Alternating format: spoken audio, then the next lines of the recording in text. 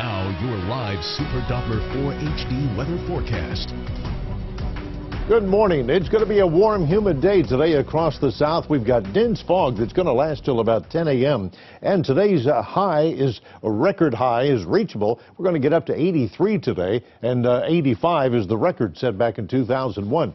Tree pollen is back up 10.8 on the scale. It's the maples, the poplars, and and uh, the oak trees that are really putting out their pollen. So we'll drive to work in a lot of fog this afternoon. Temperatures will reach 83, and later this afternoon there's a chance of scattered showers and thunderstorms for both the upstate and the mountains. The mountains will get up to 78.